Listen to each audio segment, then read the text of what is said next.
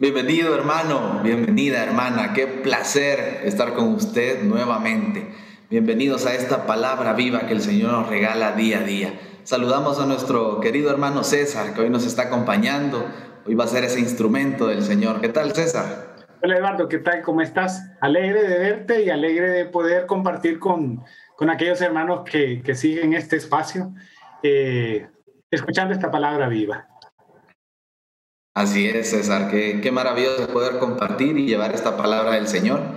Eh, le invito, hermano, a que también usted, ahorita en este momento que está viendo esta publicación, si está en las redes sociales, pues que pueda compartir, eh, ¿verdad?, con sus hermanos ahí en el WhatsApp, con sus grupos de, de oración, con sus familiares, ¿verdad?, para que pueda esta palabra viva llegar a muchos hermanos más. Así que vamos a, dar inicio. El día de hoy vamos a hablar de un tema muy, muy interesante. Ya César nos va, nos va a empezar a hablar pero vamos a prepararnos, ¿verdad? Y qué mejor cosa que empezar haciéndolo en el nombre del Señor. Así que yo le invito a que podamos decir todos en el nombre del Padre, del Hijo y del Espíritu Santo. Amén. Y vamos a pedir esa presencia del Espíritu Santo también para que nos acompañe el día de hoy. Señor Jesús, gracias Padre Celestial por un día más de vida, Señor. Gracias porque nos tienes aquí reunidos porque estamos a punto, Señor, de escuchar tu palabra, Señor. Estamos a punto de escuchar lo que tú como Padre me quieres decir a mí como hijo. Estamos, Señor Jesús, en este momento para compartir y reflexionar, para que nuestro corazón, Señor Jesús, se pueda ir transformando día a día.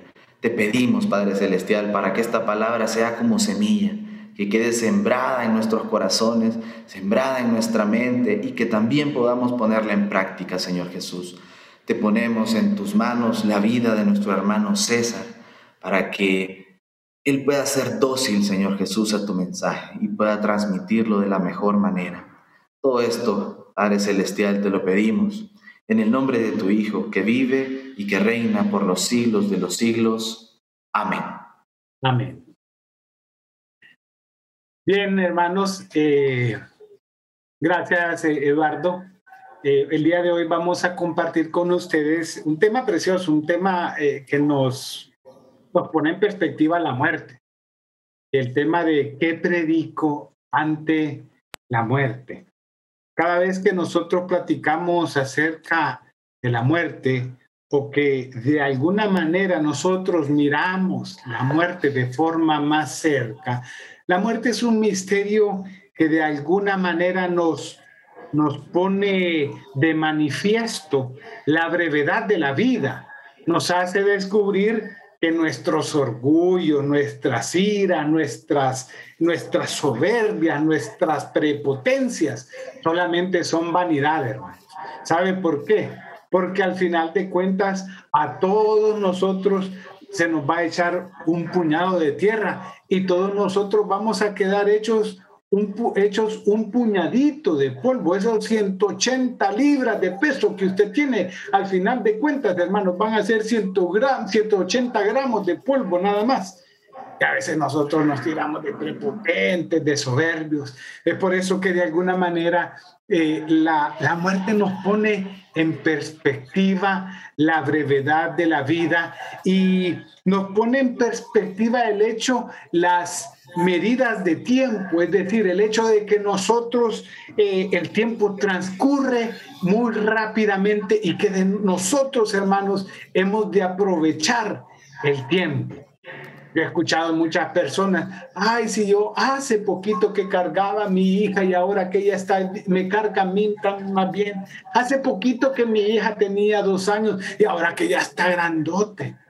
Yo escucho parejas que de pronto son contemporáneas y que tienen sus hijos o sus hijas ya en, en, etapa de adolescencia, así como yo tengo a las mías en este momento, dicen, ay, ahora ya mi hijo, que antes, hace poquito que estaba chiquito y ahora que ya ni, ni me para bola ya ni me presta atención porque él tal vez está interesado nada más en sus amistades en esas cosas en las que andan los adolescentes. Pues este aspecto de la muerte, hermanos, nos hace recordar y nos hace pensar que nosotros tenemos un tiempo limitado, un tiempo que debemos aprovechar. Que tú tienes, hermano, tú tienes, hermana, el día de hoy. Más bien, no solamente el día de hoy, tú tienes el ahora para aprovechar todo lo que tú puedas hacer en tu vida, para amar sin medida como nos invita el Señor. Pero bien, ¿qué es lo que nosotros estamos predicando ante la muerte? Para dar respuesta a esta pregunta, yo quisiera acercarme a un texto, un texto que se encuentra en el Evangelio según San Juan, en el capítulo 11, versículos del 32 al 35, que es aquel pasaje cuando Jesús se encuentra con su amigo Lázaro, su amigo que ha muerto. Dice la palabra de Dios, Evangelio según San Juan, capítulo 11, versículos 32 al 35.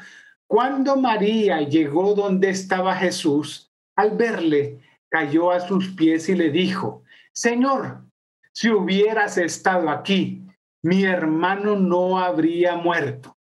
Viéndola llorar Jesús y que también lloraban los judíos que la acompañaban, se conmovió interiormente, se turbó y dijo, ¿dónde lo habéis puesto? Ellos le respondieron, Señor, ven y lo verás. Jesús se echó a llorar. Palabra del Señor, Gloria a ti, Señor Jesús. Miren, lo primero que a mí me impresiona y me enternece de esta palabra es el hecho de que Jesús no es aquellos de, los que predica frente a la muerte, no predica la falta de fe o no reprende a la mujer por la falta de fe. Jesús no va donde María y le va diciendo, ¿qué te pasa a ti, María? y, reprobándola a ella frente al dolor que ella siente. Hay hermanos que, que piensan que el hecho de experimentar dolor, de experimentar impotencia, rabia inclusive frente a un episodio de muerte es contrario a la fe. Jesús nos enseña completamente lo contrario.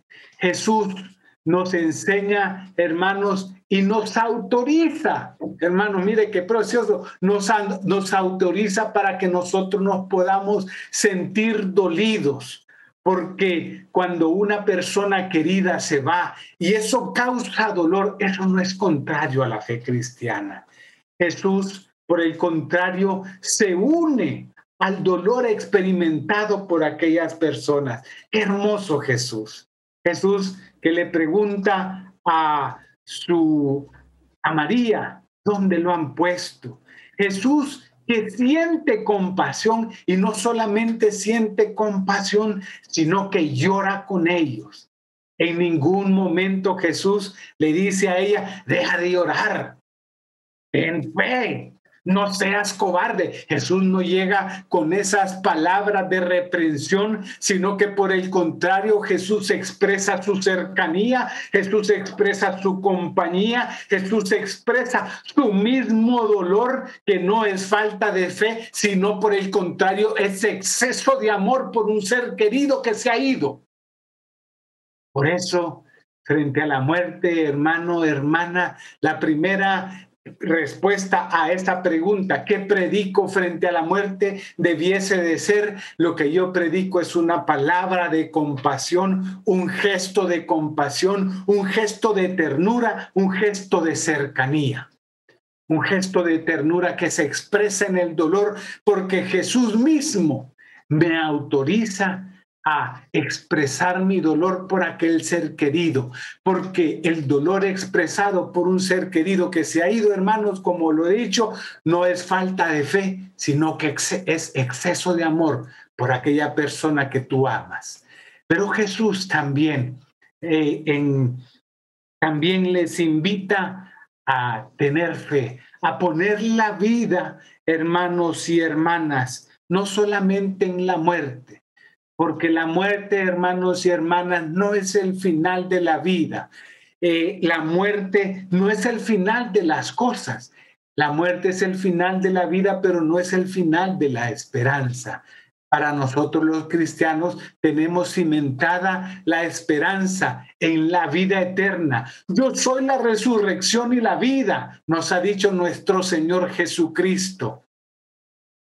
Y cuando nosotros experimentamos el dolor en medio del dolor de la muerte, ese asidero, que nos da fortaleza, que nos da esperanza frente a la muerte, es la esperanza y la certeza de la resurrección.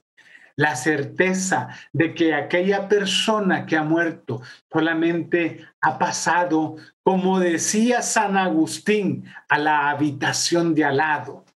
En la muerte, hermanos, Dios llama al hombre hacia sí. Por eso San Pablo en la carta a los filipenses en el capítulo 1, versículo 21, él decía, para mí la vida es Cristo y morir, una ganancia, morir es una ganancia, porque él podía mirar en una, desde una perspectiva y con un sentido positivo la muerte, de, la muerte corporal, porque solamente es la transformación de la vida, porque es Jesús que nos llama hacia sí para poder, hermanos, eh, estar plenamente con Él. Como les decía, San Agustín, hermanos, habla acerca de los muertos, se habla acerca de la muerte como aquel o el muerto como aquel que ha pasado a la habitación de al lado. Yo quisiera no expresar mis mis propias ideas alrededor de lo que San Agustín habla acerca de esto, sino compartir con ustedes literalmente lo que San Agustín escribe. Dice así, de forma hermosa, la muerte no es nada, solo he pasado a la habitación de al lado. Yo estoy, yo soy yo, ustedes son ustedes. Lo, lo que somos uno para los otros, seguimos siéndolo Denme el nombre que siempre me han dado. Hablen de mí como siempre lo han hecho. No usen un tono diferente. No tomen un aire solemne y triste. Sigan riendo de lo que nos hacía reír juntos. Recen, sonrían, piensen en mí. Que mi nombre sea pronunciado como siempre lo ha sido, sin énfasis de ninguna clase sin señal de sombra. La vida es lo que siempre ha sido. El hilo no se ha cortado. ¿Por qué estaría yo fuera de su mente? Simplemente porque estoy fuera de vuestra vista. Los espero. No estoy lejos, solo al otro lado del camino. Ven, todo está bien. No lloren si me amaban. Si conocieran el don de Dios y lo que es el cielo, si pudiesen oír el cántico de los ángeles y verme en medio de ellos, si pudieran ver con sus ojos los horizontes de, los campos eternos y los nuevos senderos que atravieso, si por un instante pudieran contemplar como yo la belleza ante las cual todas las bellezas palidecen, créanme, cuando la muerte venga a romper sus ligaduras, como ha roto las que a mí me encadenaban, y cuando un día que Dios ha fijado y conoce tu alma venga a este cielo en que los ha precedido la mía, ese día volverán a ver aquel que los amaba y que siempre los ama, y encontrarán su corazón con todas sus ternuras purificadas volverán a verme, pero transfigurado y feliz, no esperando la muerte, sino avanzando con ustedes por los senderos nuevos de la luz y de la vida, bebiendo con embriaguez a los pies de Dios un néctar del cual nadie se saciará jamás. Qué hermoso lo que San Agustín nos dice. Mire hermano, porque aquel que ha muerto probablemente nos cause dolor, pero aquel que se ha ido ha pasado únicamente a la habitación de al lado. Y si nosotros, como decía San Agustín, si pudiésemos escuchar el canto de los ángeles, donde esa persona está ahora. Si nosotros pudiésemos ver los campos eternos por donde ahora esos pies transitan, probablemente nuestro gesto sería un gesto de alegría, porque vemos que aquella persona ya está, como nos dice la palabra, en un lugar donde ya no hay lágrimas, donde ya no hay dolor. Por eso oramos y pedimos al Señor al final de esta reflexión que Él nos ayude a contemplar ese episodio, a veces doloroso de la muerte, desde la perspectiva de la esperanza en la vida eterna. Amadísimo Señor, frente a esta pregunta que tú nos has hecho, ¿qué predico frente a la muerte? Tú nos has despertado, Señor, la inquietud de reconocer de que en ti está nuestra esperanza última, de que aunque el día de hoy nosotros estamos autorizados por ti, Señor, a experimentar el dolor, inclusive a pasar lágrimas, Señor, y a expresar el amor que nosotros tenemos por nuestro ser querido. Al final nuestra esperanza, Señor, está puesta en la vida eterna, en experimentar la resurrección junto a ti, en una morada eterna que tú nos has preparado. Por eso, Señor, reafirma nuestra esperanza en ese sentido no poniendo, Señor, nuestros ojos en la muerte como el final del camino, sino poniendo nuestros ojos en la muerte como el inicio del camino a la vida eterna. Todo te lo pedimos en tu nombre, Señor Jesús, a ti que vives y que reinas por los siglos de los siglos.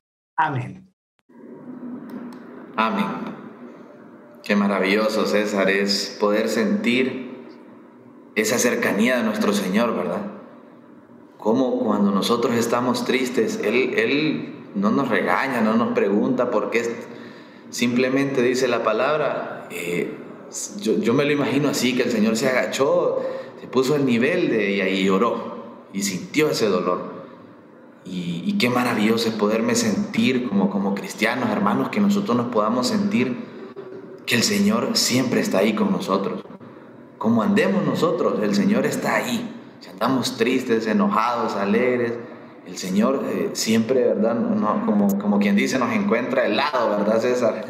yo, me, que yo, me, yo me lo imagino a veces él, a él acercándose a María, abrazándola, poniéndole el brazo al, al hombro y, y, llorando con ella. O sea, en, unas, en una en una actitud de cercanía, pero así como cuando uno eh, siente el dolor de la otra persona. Así que es hermoso realmente y, bueno, eso alienta de alguna manera esas experiencias que también son experiencias dolorosas, Eduardo. Así es, y, y qué más nosotros que nos llamamos cristianos, ¿no? De, yo siempre digo que a, a, veces nosotros tratamos de hacer muchas cosas, pero no nos tenemos que perder. Nuestro norte es ser como Jesús. O sea, ahí está el ejemplo, pues, ahí está el ejemplo. Y, cuando nosotros estemos en una situación que no sabemos qué hacer, lo que tenemos que, que, sentir en nuestro corazón es ser como Jesús, Señor, yo quiero ser más como tú, ¿verdad? Y tratar de sentir el dolor de mis hermanos, tratar de, de alegrarme con ellos cuando están alegres, de, de entristecerme en estos momentos de, de, lo que hablábamos, de una muerte, de una pérdida.